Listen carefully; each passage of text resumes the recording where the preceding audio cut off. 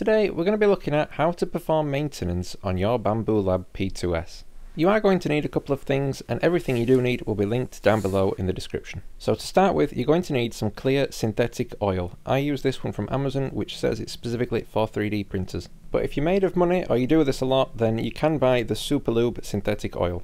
And speaking of Superlube you're going to need some synthetic grease, which I use this one because it's quite readily available for me on Amazon and it will take about 10 years to use this amount. I've also got some 70 plus percent alcohol wipes. Everything you do use should be lint free. I've also got some microfibers, high quality ones usually don't leave traces and fibers behind. So the first thing we're going to do is we're going to clean and lubricate our x-axis, which might sound complicated but it's those two rails that you see in the top of the printer there which move the tool head side to side. I would recommend that you take off this top glass and put it somewhere safe first, this is going to give us better access.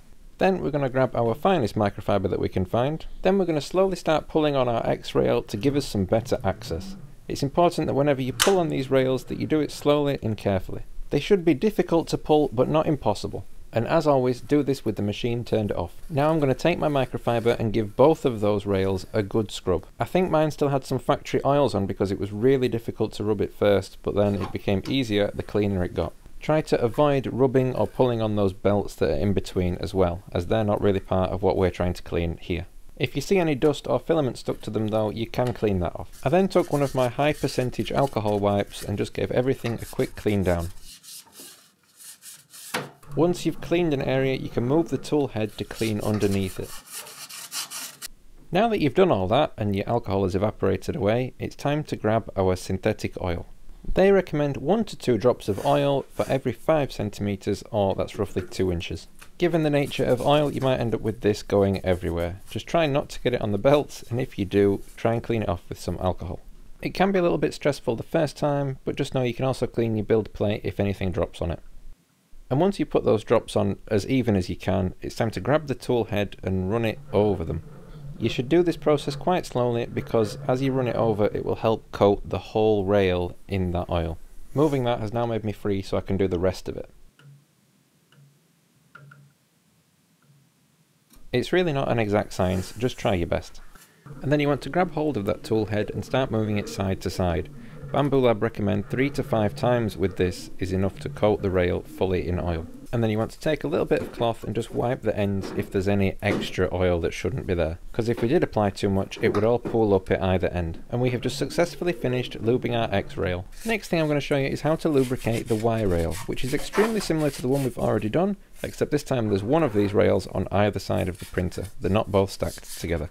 This one is much harder to get into access and clean though, so I recommend just hitting it with an alcohol wipe and trying to clean as much of it as you can. Again, you can clean a portion and then you just push our tool head back and you can clean under where it was. For the Y rail, you also want to be using that same synthetic oil. And you also want to be applying it at the same ratio of 1 to 2 drops for every 5 centimeters or 2 inches. If it starts giving you grief or just trying to run away, then wipe it up with that alcohol wipe.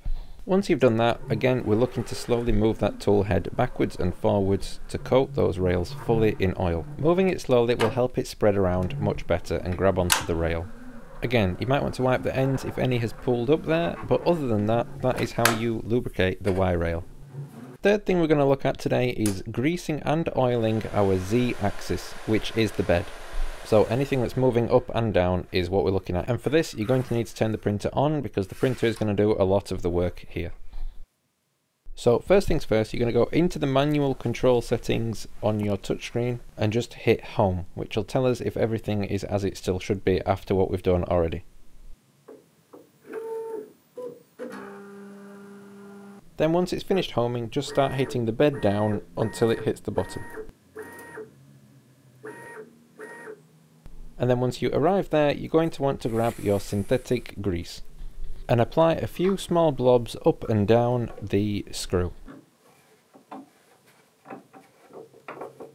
There are three of these screws, one located in the back and two near the front door. So we're just looking to put a couple of small even blobs on and then the bed is going to do all the work for us and spread this over the threads. So this is all done with grease, but there is a part here that needs some oil putting on. Next to these screws, you'll see a shiny rod that is just like that Y and X axis that we've already worked on earlier. So you want to lubricate that. That is basically the Z rod. And we're doing it the same as we did before with 1 to 2 drops for every 5 centimeters. So grease goes on the screws with threads and the oil goes on anything that's smooth. So just remember that and don't try oiling the threads. Once you've applied that as best you can, then we return to our display and just start hitting up on the bed. You'll start to see it going over that grease and just spreading it throughout the threads. You'll want to go up and down 3 to 5 times. If you mash the button on the display, it does go a lot quicker.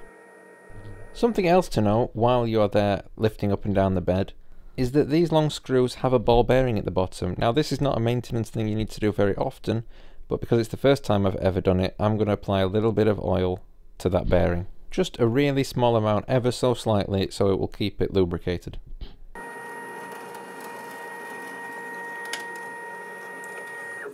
Now the last thing that we're going to need to check and oil involves turning the printer around because you're going to find it on the back. And that is with the point where you lubricate that XY pulley belt. It's unusual to add oil to the top of a belt, but this belt is spinning around a bearing at high speeds, and a tiny bit of lubrication, just one drop or two drops, will reduce the belt wear significantly, or that's what Bambu Lab claim. So there's one of these at either side of the printer, and according to Bambu Lab, to better access it, you should push the tool head all the way to the left. And you'll see the pulley inside the machine start to spin. This bit's quite difficult to get on video, but you'll see what I mean when you actually get there. You can see the belt, and then you can see there's a spring behind it and stuff. You're aiming for the top of the belt with a few drops of oil. They recommend that you do this every 3 to 6 months, just like with the rest of this lubricating maintenance, but that's up to you. I'm probably going to do this just once and then forget about it. Like I said, there's another one of these on the right hand side of the back of the printer, and to get to that one you just need to move the tool head all the way to the right, just like we did with moving this one to the left. It's difficult to see if you've actually got any oil there, so do your best. Another footnote is while you're in here you might want to replace the carbon filter that's included with your P2S. Bambu Lab don't give a specific life on this, they just say when it becomes extremely dirty. So do what you can with that information. You don't need any tools to remove it, just get a fingernail in there and it'll pop off and then you can easily remove the filter.